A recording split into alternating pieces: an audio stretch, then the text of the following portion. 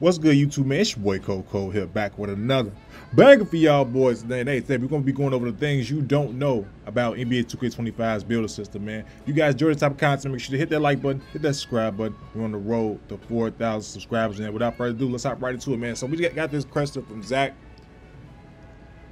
I can't pronounce this man's name from Zach Zinnerman, Tinnerman, whatever the fuck his name is, man.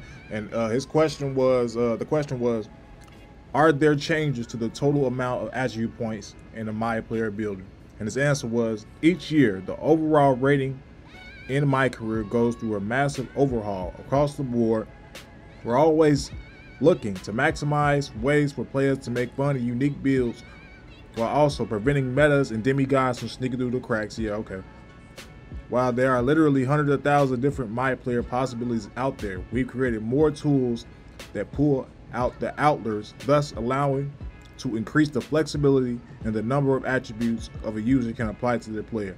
In the end, in all most cases, if you recreate a build, uh, recreate a build from NBA 2K24 and 2K25, you'll end up with the lower overall that leaves room to allow you to pump in some more attributes. And basically, what this uh, question is is that he's asking that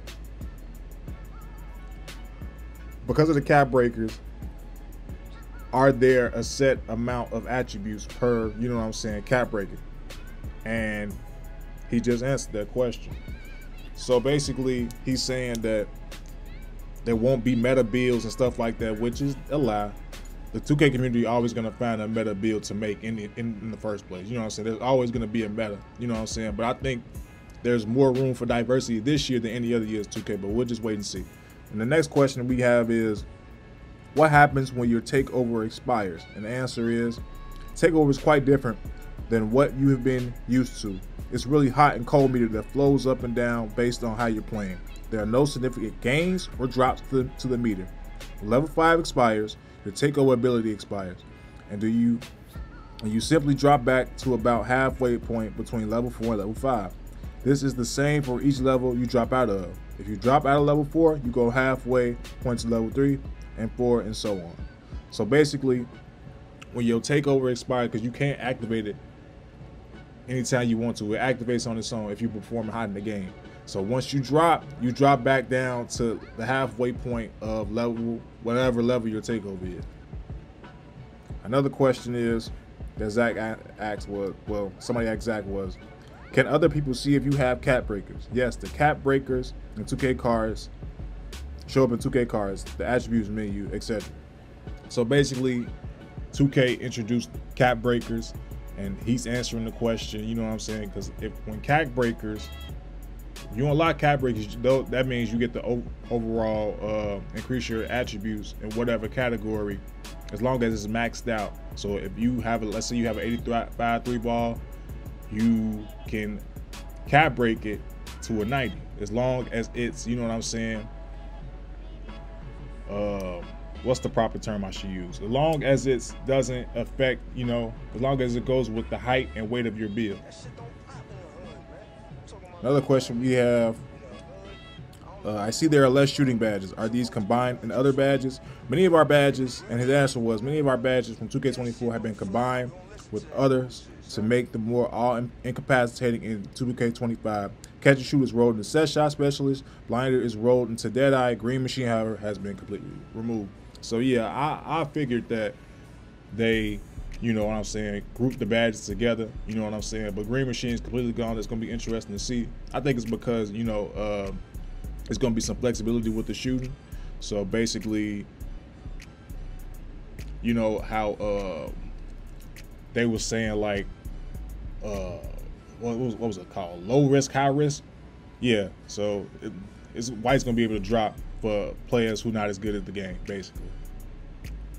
Another question somebody had for Zach was, what are the height caps for each position? In 2K25, his answer was, the max heights where each position are point guard 6'7", shooting guard 6'8", small forward 6'10", power forward seven foot, and center seven three. So no more six eight point guards, man. It's gonna be interesting to see what the meta is this year in 2K, man. I'm super excited for that, man.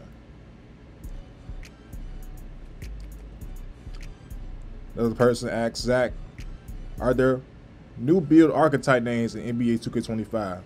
His answer was yes. There are over 100 new possible archetype names that can be discovered. Some of my favorites are Rim Attacker, Small Ball, ball Forward, that's fire name, Swiss Army Knife, and Junkyard Guard. So it shouldn't be as much, you know what I'm saying, meta this shit, like I said, but the, you know, the 2K community, you know, they brains, you know what I'm saying? They not going to really, you know what I'm saying, care about having a unique name or something like that. They just want you something that that you know they can go go out, you know, say they can see a YouTuber, you know what I'm saying, post a build, you know what I'm saying. Oh, this is the best build in the game. Of course, they gonna make it. So, you know. But I always have encouraged everybody to make builds according to their play style. You know what I'm saying? That's like one of the biggest things. I, you know what I'm saying, especially this year. You need to make a build to how you play it. That's how you have the most fun on the game. Don't be afraid to have fun. You know what I'm saying? As long as you're able to play team basketball with your teammates, y'all gonna win a lot of games. Somebody had another question for Zach. He says, "Does my career progress progress the games needed to unlock takeover levels four and five?" His answer was yes. Playing the NBA career games, excluding practice drills, will count towards unlocking takeover levels. Remember, you will unlock level 4 by activating level 3 in 10 games, and level 5 by activating level 4 in 15 games. Takeover levels unlock does carry over between saves. So once you unlock level 5 on one build, it'll be unlocked to all your other builds, which is a W. Another question for Zach was, what advantage do shorter bills have this year?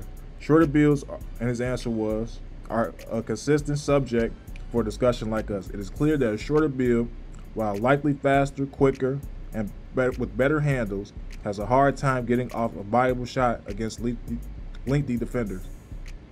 This made it very difficult ultimately to succeed as a small scorer. We are giving more wiggle room to smalls in the builder. In addition, we're introducing a new badge called Mini Marksman, which allows the smaller shooter, 6'3 or shorter, to shoot more effectively against tall defenders. If we had a badge like that, what I forgot what uh, was it called? It was in 2K21. It was a uh, oh man, I forgot what it's called. Y'all know exactly what I'm talking about. If y'all know the answer to it, uh, put it in the comment section below. Another question that somebody had for Zach was, do cap breakers transfer across saves? Can you change them? Cap breakers are a user-based prize, so once earned, you can apply them to any old save or new. When a cap breaker is applied to an attribute, it is permanent for that save. One of our favorite parts about cap breakers is that they contribute to badge, takeover, and animation attribute thresholds on that cap breaker menu itself. As you temporarily increase cap breakers, the game will call out the exact features that are unlocked if you apply them. So with that, you can make informed decisions about where you like to apply your cap breakers. So I, I see a lot of people, um, you know what I'm saying, taking their time to build this shit. You know what I'm saying? That's why I was saying, like, make your own build to how you play, especially this year, because you want to be able to, you know what I'm saying, adjust that cap breaker to where you can get that legend badge. You know what I'm saying? it's gonna be a whole bunch of different play styles this year, and I'm super excited to see that, man. And because of that fact, it makes for you know what I'm saying not repetitive gameplay. Like people can play the game to how they want to. It don't always have to be you know what I'm saying pick a roll. It don't always have to be ISO. You know what I'm saying. People free, should be able to choose how they want to play the game. You know what I'm saying. And I think that's uh, a W. And the final question was. from Baluba. Oh, for Baluba. Will lethal zones be in 2K25? Yes, the design is a little more fun too. Instead of automatically working on two zones and it lasted one week, there are three versions options to choose from. One week, one zone, two weeks, two zones, three weeks, three zones. For the week's three version, you'll face off against lethal shooters. So yes, lethal zones are back in 2K25. One week you'll get one zone, two weeks you get another zone, and three weeks you'll be able to get three zones after three weeks. You know what I'm saying? And you'll face off against lethal shooter for those three zones. I guess in the type of uh, shoot around. But that's all I got for you guys, man. If you guys enjoy this type of content, make sure to hit that like button, hit that subscribe button. We're on the road to 4,000 subscribers, man. Thank you guys so much for watching this video. You guys take care.